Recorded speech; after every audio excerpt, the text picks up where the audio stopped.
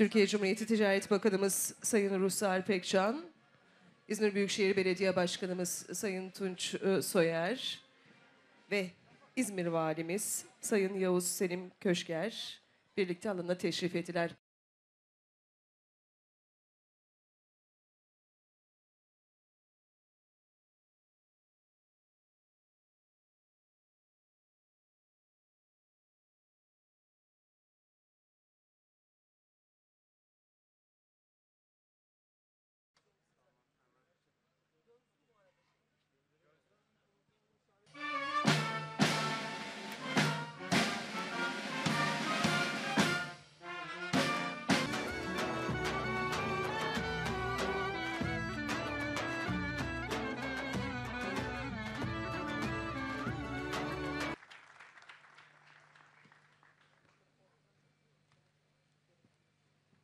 Küresel pandemi nedeniyle yaşanan tüm olumsuz şartlara rağmen bu köklü geleneğe ara vermeye gönlümüz razı olmadı, vermedik.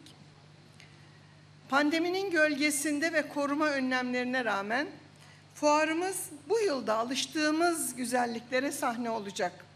Her zamanki gibi renkli biçimde gerçekleşecek olmasına tanıklık etmek hepimiz için büyük anlam taşımaktadır. Değerli konuklar, Bildiğiniz üzere bu güzide fuarımızın İzmir'imizin canlılığına, İzmir'imizin sosyoekonomik zenginliğine yaraşır biçimde mümkün olan en güzel şekilde icra edilmesine Ticaret Bakanlığı olarak bakanlığımıza da büyük sorumluluk düşmektedir. Bu çerçevede biz de bakanlık olarak İzmir Enternasyonel Fuarı'nın mirasına büyük önem veriyor bu mirası gelecek kuşaklara taşımak için özel gayret ve hassasiyetle çalışıyoruz. Covid-19 salgını nedeniyle bu sene maalesef uluslararası misafirlerimize ev sahipliği yapamadık. Ancak bu durum bakanlığımız koordinasyonunda yapıla gelen İzmir İş Günleri programını gerçekleştirmemize engel olmadı. İzmir İş Günlerini sanal ortama aktardık. Dün gerçekleştirdiğimiz uluslararası forum yanı sıra iki gündür yoğun bir şekilde yapılan bilgilendirme seminerleri, webinarlar aracılığıyla zengin içerikli birçok oturum düzenledik. Bu yıl 89. İzmir Enternasyonel Fuarı'na özel olarak Akdeniz'in kıtaları birleştirici misyonuna atıfla Mavi Kıta Buluşması ana temasıyla Akdenizlilik ana vurgusuyla yola çıktık. İzmir İş Günleri kapsamında gerçekleştirdiğimiz uluslararası foruma Akdeniz ülkelerinin kıymetli bakanlarının katılımıyla pandemi sürecinde bölgedeki koşulları lojistik ve ticaret boyutuyla değerlendirdik. Tarihsel olarak ticaretin merkezi olan Akdeniz'in bölgesel ticaretin ekonomik işbirliğinin artırılması yoluyla dünya ticaretindeki merkez konumunu yeniden canlandırmaya yönelik fikir alışverişinde bulunduk. İzmir'imizin bu süreçte dünya ticaretinin ana çekim ve cazibe merkezlerinden birisi olma niteliğinin güçlendirilmesi de önem arz etmektedir. İzmir'imizin ekonomik ve beşeri altyapısı yatırımlar açısından cazibe merkezi olma özelliği taşımaktadır.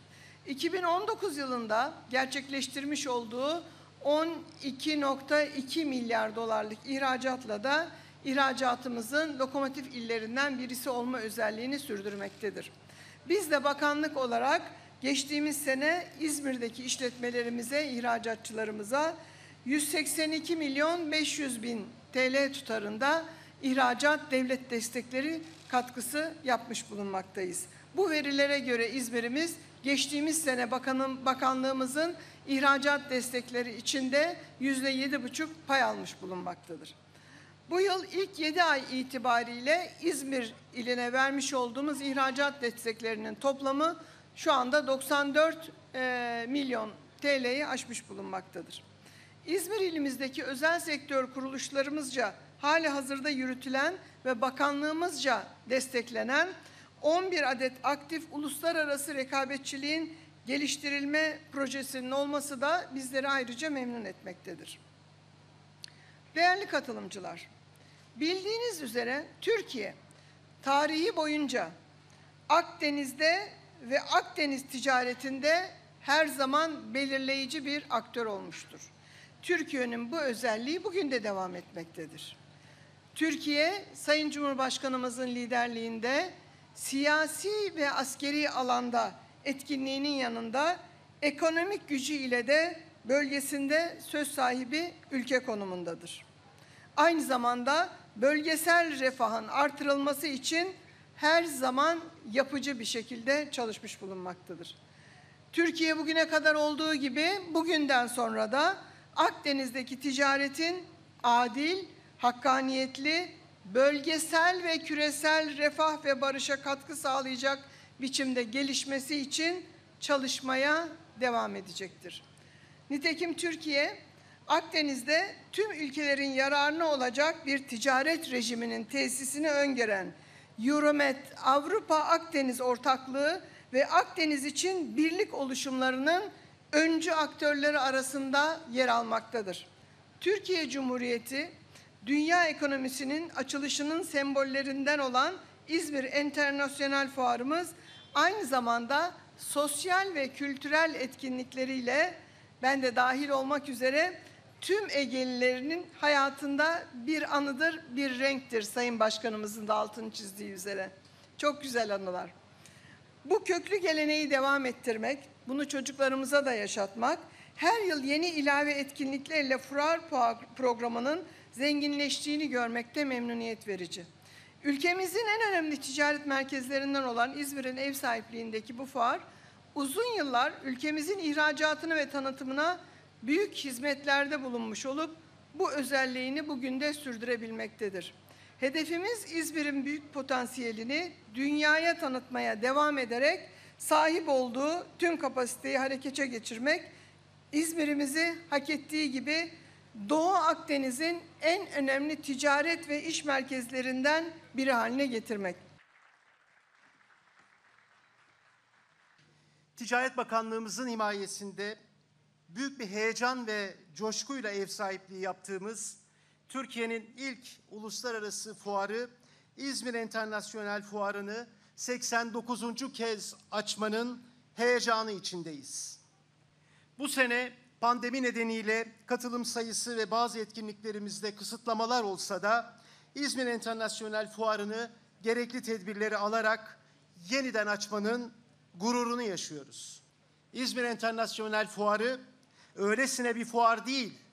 Fikriyatı İzmir İktisat Kongresi'nde atılan büyük bir mirasın taşıyıcısıdır.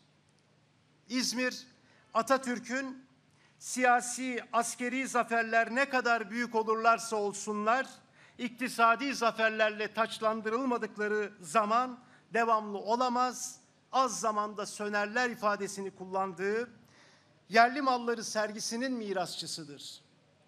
İzmir Enternasyonel Fuarı Türkiye'nin en eski, en kapsamlı ve en görkemli ticaret organizasyonudur. Ancak fuar hiçbir zaman sadece ticari bir fuar olmamıştır. Tarih boyunca dünyadaki siyasi, diplomatik, ekonomik, kültürel ve toplumsal ilişkileri çoğaltan bir misyon üstlenmiş ve insanlığa ayna tutmuştur. İkinci Dünya Savaşı esnasında dünyada her yer, yer yerinden oynarken 1943'te bile kapılarını açarak birbirleriyle savaş halinde olan ülkeleri bir araya getirmiştir. Soğuk savaş yıllarında bir taraftan Amerika Birleşik Devletleri'ni, öbür tarafta orak, orak çekişli Kızıl Yıldız'ı Kültür Park'ta ağırlamıştır. İzmir Enternasyonel Fuarı ekonomik ve siyasi ilişkilere katkısı ve tanıklığı haricinde İzmirliler için büyük anıların ve ilklerin de mekanı olmuştur. İzmirliler ve ülkemizdeki herkes Neil Armstrong'un Ay'a indirdiği kapsülü ve Ay'dan getirilen kaya parçasını ilk kez fuarda gördü. Fuar, uzaya ilk giden Gagarin'in kozmonot kıyafetinin sergilendiği yer oldu. Kot pantolonu, yürüyen merdiveni ilk kez fuarda tanıdık. Ülkemizin sanat güneşi Zeki Müren'i ve daha nice kıymetli sanatçıyı ilk kez fuarda görme şansı yakaladık.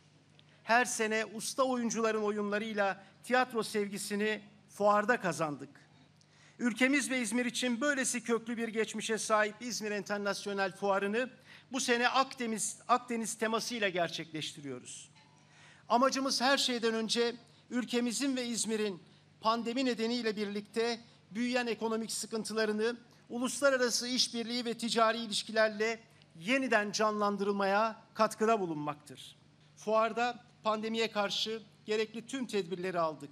89. İzmir Enternasyonel Fuarı'na bir kez daha her biriniz ayrı ayrı hoş geldiniz, sefalar getirdiniz. Ve 89. İzmir Enternasyonel Fuarı'nın hepimiz için hayırlı olmasını diliyorum. Ve başta İzmir Büyükşehir Belediye Başkanımız Sayın Tunç Soyer ve pek çok emektar arkadaşına da gönülden emeği geçen herkese teşekkür ediyorum saygılarımla. İzmir Enternasyonel Fuarı bu anlamda İzmir'in ve Ege'nin can damarlarından biri olarak görülmektedir. Fuar, ilimizin ve ülkemizin sosyoekonomik gelişmesine ve kültürel aktivitelerinin çeşitliliğine önemli katkılar sağlamaktadır. Dolayısıyla fuarın her alanda daha etkin ve amacına uygun biçimde düzenlenmesi büyük önem taşımaktadır. Salgınla mücadelede tedbir ve tedavi hususunda devletimiz tüm kurum ve kuruluşlarıyla imkan ve kabiliyetlerini seferber etmektedir. Yaşanan ekonomik ve sosyal sorunları ve bunların olumsuz sonuçlarını gidermek için tüm imkan ve kabiliyetini kullanmaktadır. Böyle zamanlarda kenetlenmemiz, güç birliği yapmamız ve moralleri yüksek tutma, tutmamız gerekmektedir.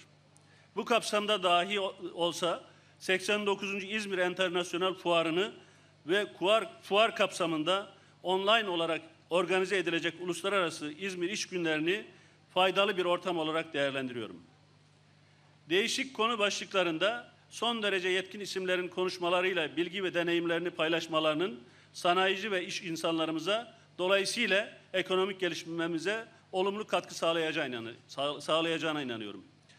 Fuar organizasyonunda her yıl farklı konularda seçilen temaların isabetliliğinin organizasyona ayrı bir işlerlik kazandırdığını görüyorum. Akdeniz'deki bu potansiyeli zenginliklere çevirip hep beraber adil bir biçimde paylaşabilirsek bundan hepimiz kazançlı çıkacağız. Son dönemde Doğu Akdeniz'de yaşanan gelişmeleri de bu kapsamda değerlendiriyorum. 89 yıllık Çınarımız İzmir Enternasyonel Fuarı'nın açılış törenine hepiniz hoş geldiniz. Hep birlikte yaşadığımız zorlu pandemi sürecinde en çok ihtiyacımız olan şeylerden biri olan umudu, birlikteliği, morali paylaşacağımız, bize güç verecek bu fuarın açılış gününde sizlerle birlikte olmaktan hep beraber çok mutluyum. Bu fuar hepimizin yaşam kesitlerinde, farklı yaşam kesitlerinde, farklı çok güzel anılar yaşadığımız, çocukluğumuzda eğlendiğimiz, gençliğimizde gezdiğimiz, neşeli günler yaşadığımız, büyüklüğümüzde dünyaya açıldığımız, Büyükşehir Belediye Başkanımızın ifade ettiği gibi dünyada oluşan bir takım ilkleri gördüğümüz, bizleri kucaklayan, bizlere moral aşılayan, İzmir'i çevre illeriyle, Türkiye ile ve dünya ile kucaklaştıran çok önemli bir fuar. Bu yılda aslında fuarımız yine bir ilke atıyor. Belki de istemediğimiz bir ilk ama bu pandemi sürecinde yapılan e, ilk fuar özelliğini taşıyor. Sayın Bakanımıza da bu konuda vermiş olduğu destek için çok teşekkür ederim. Hem İzmirlilere hem de Türkiye'ye umut olmak istiyoruz. Çok teşekkür ediyoruz.